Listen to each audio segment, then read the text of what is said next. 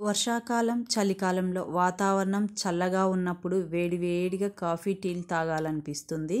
కాకపోతే ఎక్కువగా తీసుకోవడం వలన సైడ్ ఎఫెక్ట్స్ ఎక్కువగా ఉంటాయి. అందుకోసం నేనైతే హెర్బల్ టీను తీసుకుంటాను.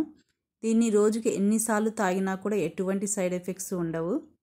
దీనిని ఎలా తయారు చేసుకోవాలో చూసే ముందు నా ఛానల్ని ఎవరైనా సబ్స్క్రైబ్ చేసుకోకుండా చూస్తూ ఉంటే వాళ్ళందరూ తప్పకుండా సబ్స్క్రైబ్ చేసుకోండి లైక్ చేయండి షేర్ చేయండి. దీనికోసం ముందుగా మనము స్టవ్ మీద ఒక బౌల్ పెట్టుకొని రెండు గ్లాసుల వరకు నీళ్ళను వేడి చేసుకోవాలి. నీళ్ళు వేడెక్కి మరుగుతున్నప్పుడు చెక్క లవంగ పుదీనా ఇలాచి తులసి కూడా వేసుకొని మరిగించుకోవాలి. ఇవన్నీ కూడా మన శరీరాన్ని వేడిగా ఉంచడంతో పాటు జలుబు దగ్గు రాకుండా కాపాడుతాయి. ఒక స్పూన్ వరకు చిన్న ముక్కలుగా కట్ చేసుకున్న అల్లము ఒక స్పూను మిరియాల పొడి మిరియాలను మరీ మెత్తగా పొడిగా చేసుకోవాల్సిన అవసరం లేదండి. అలాగే హాఫ్ స్పూన్ పసుపు అండి. పసుపు మనం ఇంట్లోనే తయారు చేసుకున్న పసుపు అయితే ఇంకా చాలా మంచిదండి.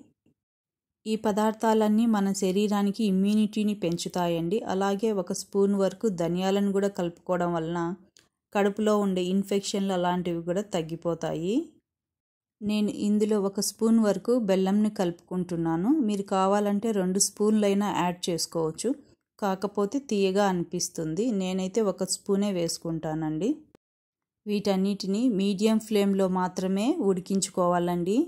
అలాగే మనం తీసుకున్నటువంటి రెండు గ్లాసుల వాటరు ఒక గ్లాస్ అయ్యే వరకు ఉడికించుకోవాలి. అలాగే నేను ఒక స్పూన్ వరకు లెమన్ని కూడా యాడ్ చేసుకున్నాము.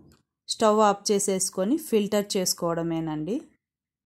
చూడండి పుదీనా ఆకులు తులసి ఆకులు ఎలా బాగా మరిగిపోయాయో వీటిలో ఉన్నటువంటి ఔషధ గుణాలన్నీ బాగా మరిగి మనం తీసుకునే ఈ టీ రూపంలో మన శరీరానికి అందుతాయన్నమాట.